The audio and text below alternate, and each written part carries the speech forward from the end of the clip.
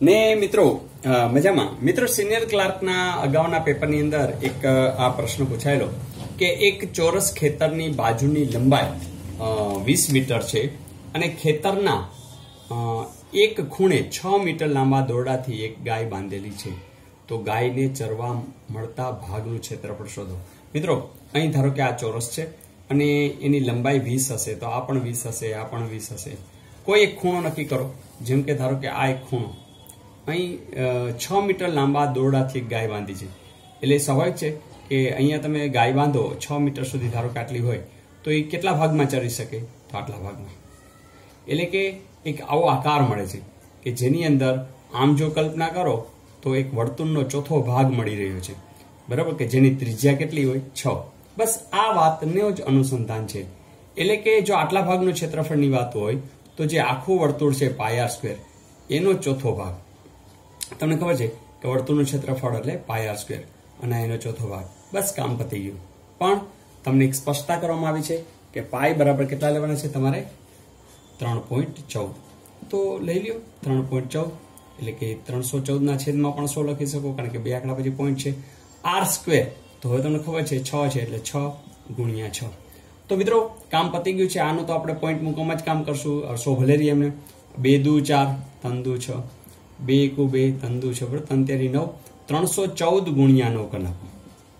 તો નવ ચોક, છત્રીસ, નવ ને ત્રણ બાર સત્યાવીસ ને અઠ્યાવીસ. જવાબ આપણને જે મેળ્યો છે શું મેળ્યો છે? અઠ્યાવીસો છવ્વીસના છેદમાં સો. એનો અર્થ કે તમે કહી શકો અઠ્યાવીસ પોઈન્ટ છવ્વીસ. એવું ક્યાંય છે? જરૂર છે. તો મિત્રો છે ને સિમ્પલ. ખાલી તમને ખબર હોય છે કે વર્તુળ એટલે પાયર સ્ક્વેર, આ એનો એક ચતુર્થાંશ ભાગ થાય છે.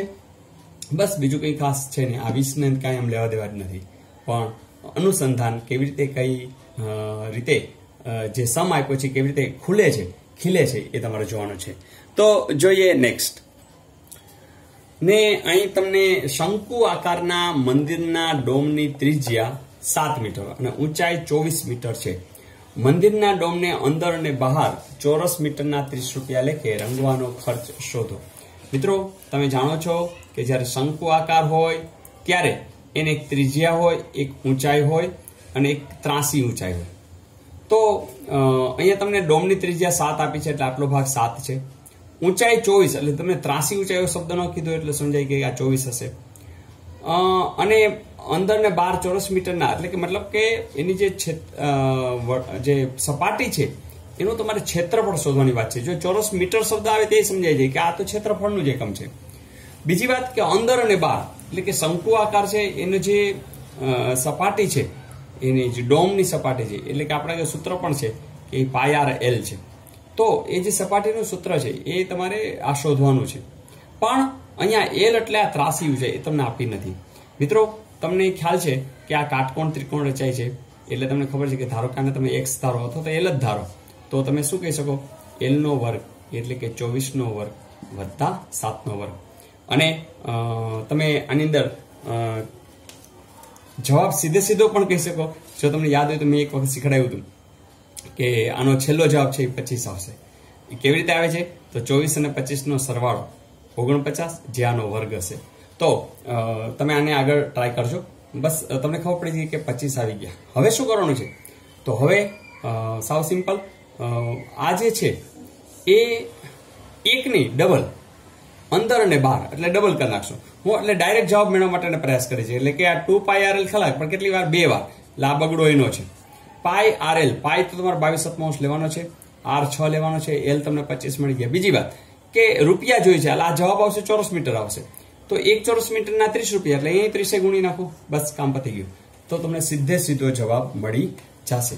તો જુઓ જી તો શું કરશો? તમારી સામે આખે આખી વાત છે. અહીં તમે મિત્રો જુઓ છો સોરી અહીંયા બે એટલે આપણે ડબલ વાર, બાર અને અંદર. પછી બાવીસ સપ્તમાંશ એટલે આ પાય આર એટલે તમને આ આપીએ છે સાત. એટલે આ સાત છે, બરાબર? અને પછી બાકીનું તમે જાણો છો એલ એટલે પચીસ.